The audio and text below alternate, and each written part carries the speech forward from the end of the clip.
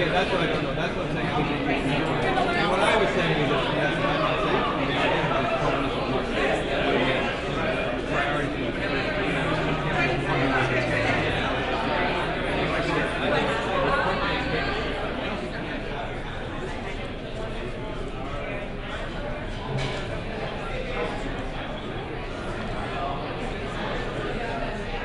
Wonderful. Yeah, I mean that that project is fairly extensive. We had over the course of what six years appropriated like 4.5 million dollars for that um, in conjunction with um, Rep Serrano. Oh, we have some more. Well, I didn't want to.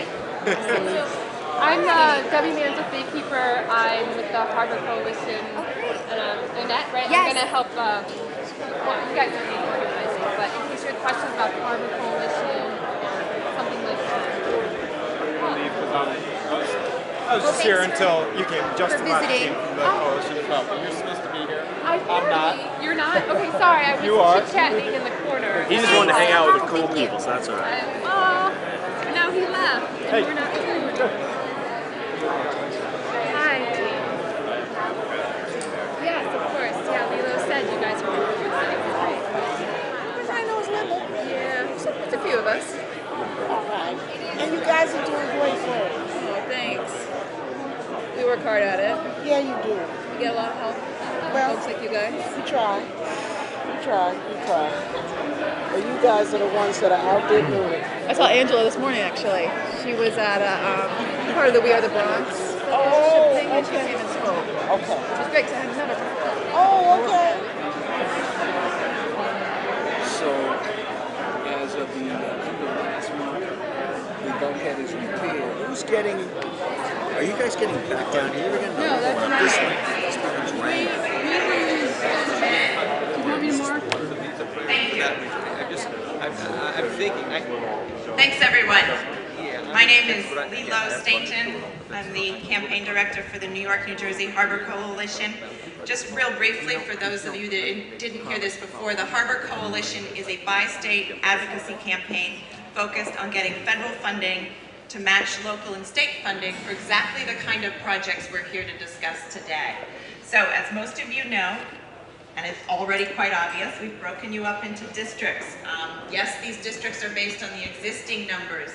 Yes, we are aware they are all going to change very soon, but to avoid complete chaos, we are going with the existing districts. And as you probably know, you're partnered at tables with a representative from that local congressional district. And I'd like to thank all of the congressional districts who participated today. This is great. Thank you very much.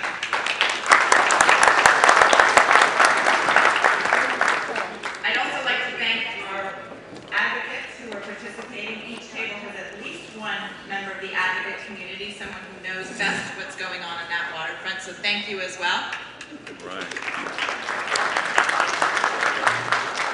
And last but not least, our representatives of the Harbor Coalition, identified by these very fancy little stickers.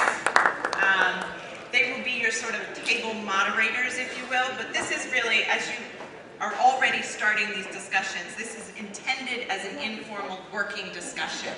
The goal is to take a look at your giant district map. Thank you very much, RPA, for these district maps. Um, to work on that map, the stickers are designed for you to stick on the map, and then there are worksheets on your table that you can record each idea is whether this is a project you want to talk about or a policy issue. It doesn't matter. Just the point is, we are looking for your input on how the federal government can be helpful with these projects.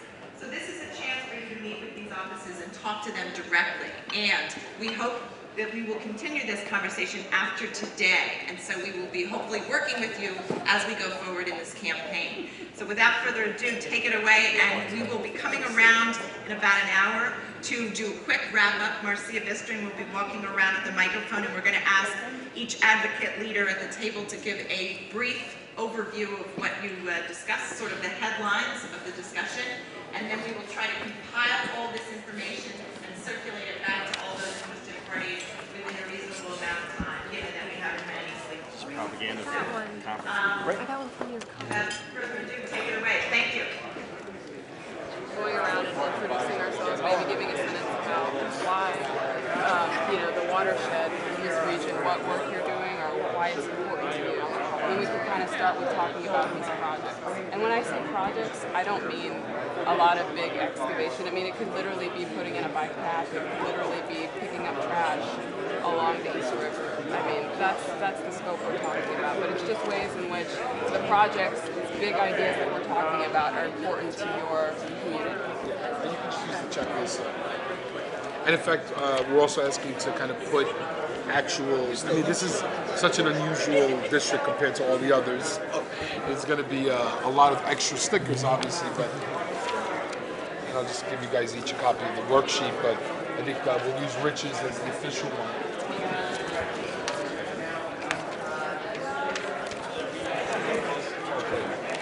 Now I'll show. So my name is Rich Camp. Uh, I know most of you, um, just like Kendall. Um, I'm on the board of the Gowanus Patrol. For that. So this is in a district that includes Coney Island and Brighton Beach. Sheepshead Bay uh, is in a district uh, with East New York and uh, Bedford Stuyvesant uh, and Howard Beach. Uh, sort of like a uh, shape. The Congressman Nadler's district changed. So basically, just we don't represent this area anymore either, but we do represent this area next door. Uh, we represent Borough. Park here, and on the Upper West Side, basically everything stays the same in Manhattan and uh, Brooklyn. Slight changes, uh, but our northernmost boundary was 89th Street.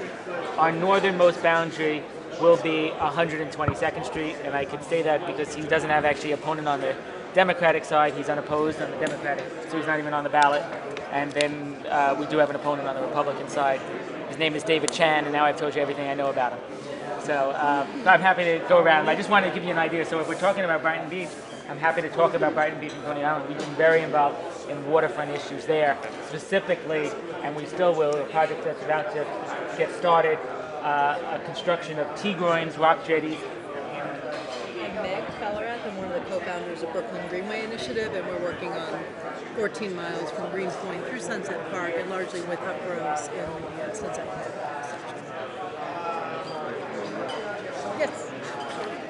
Uh, Ray Howell, I'm a Brooklyn resident. I'm in the, uh, the travel business as a travel professional, but I was uh, one of the founders of the Gowanus Dredgers Canoe Club. It operates on uh, Second Street in the Gowanus Canal. Plus, we also operate boating operations in Red Hook, Staten Island, and Long Island City. And as Dan knows, also I'm an advocate for public mass transit, including uh, served on the Brooklyn Red Hook trolley study that failed to conclude that we should build a I hope they will. good you know location to trying to do some oyster restoration work and um, you know there's there's um, there's good reasons why it, might be a good spot. I mean, it's, it's it's probably the highest growth we've ever seen um, in the harbor. The actual growth of oysters is higher than in the control sites we have on eastern Long Island, where they're currently doing aquaculture with oysters. So, um, you know, that's that's a huge leg up if you're trying to restore things that they grow really quickly and, and do really well. Um, the, the, I'd say the negatives there are probably the, the there's really no um, wild larvae, although some people continue to look. Um, Park Service in, in particular. Uh, but so, you know, I think it's a good spot. Club. We have a very good relationship with Floyd Bennett Field, the National Park Service. We've done training with them. We've done joint ventures with them, and we do a lot of community service work uh, in this area. We have youth groups coming from Brooklyn North, from Canarsie. Uh, we work with the Parks Department here. We're doing a cleanup tomorrow. So we're very, very involved in the community, and you know, that's that's why I'm here.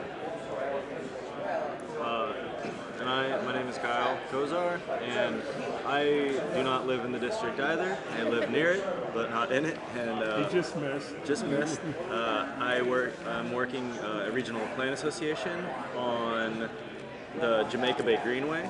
So the greenway that runs the south side of the Shore Parkway and really all the way around Jamaica Bay. But I'm currently working on a project that is focusing on. No, no, he's worth this to help facilitate. Fabulous. We all, yeah, you are the exception because we all know we are all neighbors. And Well, Staten Islanders. we're all Staten Island. Not only we're Very we're very tightly coupled. specific Staten Islanders. We're In the same we- building. Good. Yes. Well, not all in the same building. but- So we have major issues. Is that the right? Is that Cromwell? You're in Southfield. Yeah. Here That's is Cromwell. This is Cromwell That right here, and the what we're No, I worked talking for the about. New York City Parks for 20 years. Oh. Yeah. Believe me, I know. There should be a That was little right break outside my here. window. Every Cromwell's friggin' That's in the water. story.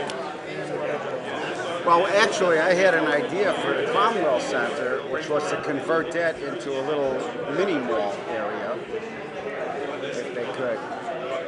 Uh, you know, like uh, Reattach it to land. yeah, reattach it to land and, and, and have some shops in there, kind of like make it look like Fenced off, so because it's partially collapsed. So what, what kind of shape would you say that's in? Rather poor, but but it's it's on its last legs. Another couple of years from now, and there will be no choice. It will collapse, or it will have to be taken down.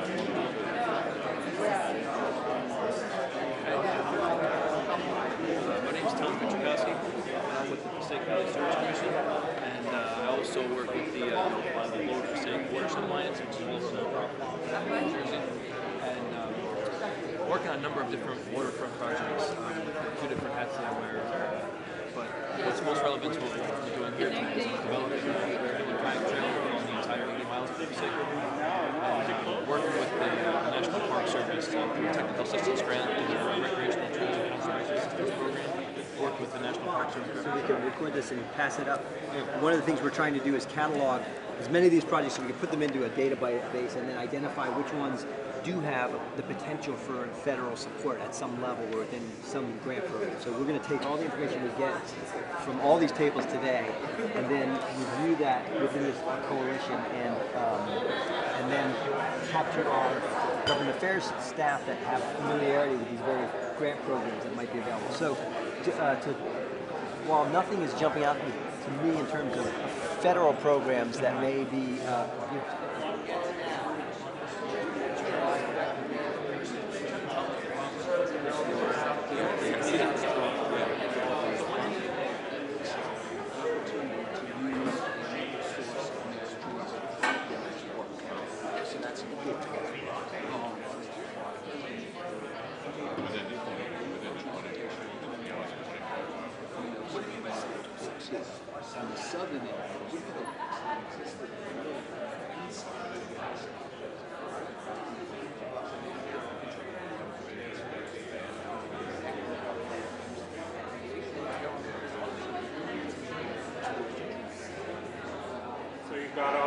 all of that, Jeff?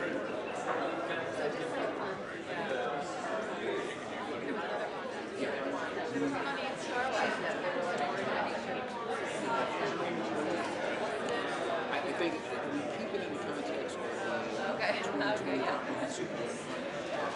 We're talking about things about the future, we're talking about the, what's the horizon, the next, the next few years. Palmer Park already has a, a wall front that designed to combat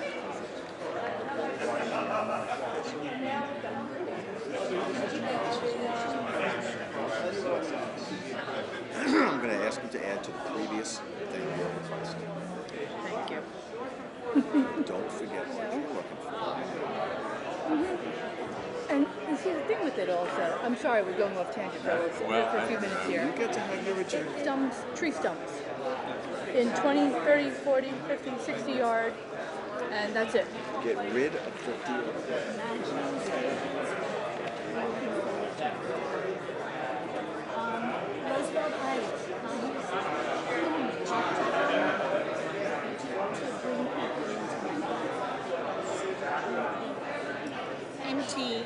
them. Roosevelt Heights. Empty, and lots of people, but there's not much in the terms of retail or other reasons to draw people down to the well, there is a proposal to build um, new housing, including senior homes in here, and it would be mixed use. And Something called Whitey should they have made them already? Right, exactly. Yeah, or, or, and if they, are they? All those wonderful things that had Yeah.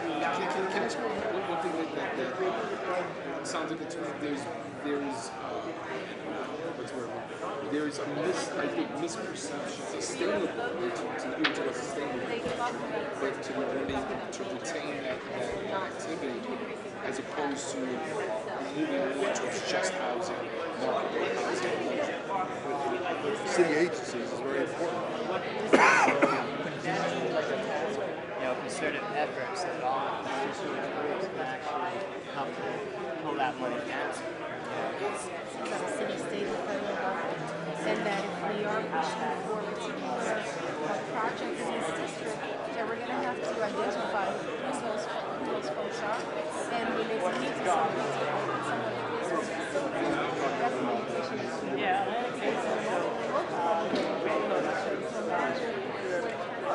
But you have 12, you have the booster. I think we should also think about The ones that got the money sometimes didn't need the money. They were spoke out, they had a lot of money to begin with. So it. The.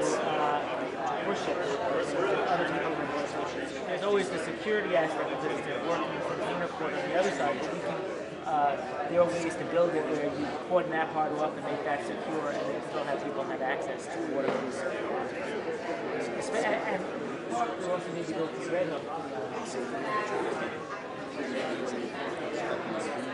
red hook. So you, that's what, what kind of restoration are you looking to do? We're looking to do um, shoreline wetlands with oysters. It's just outside the entrance line, especially by the time you have to pull way back, because it's like old concrete there. No, restoration, like, not enough. no. Leave it at the table now, Mark, you know how this works. So we wanted 18 million for wetlands restoration, the interior marsh island and Quebec, and it was big fight. So that would be the criteria we could tip into that. Uh, this is um, Shellbank Basin. It's uh, not usually people, but uh, story things they've done just the heights.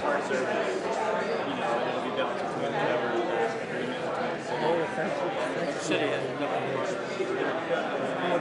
It might open up some.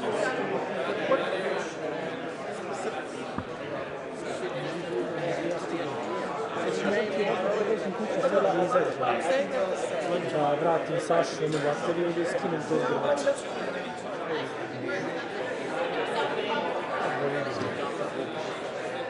Zato što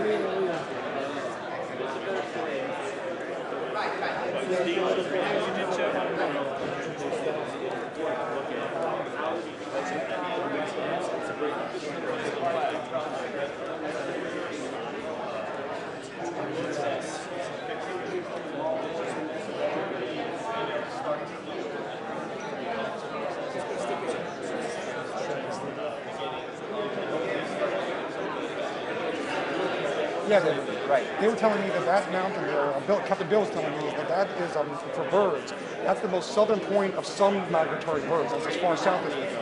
And there's and that's the most uh, the northern point of some other migratory birds. So he said that, that one particular mountain is um, actually. So I mean, it's, uh, why not?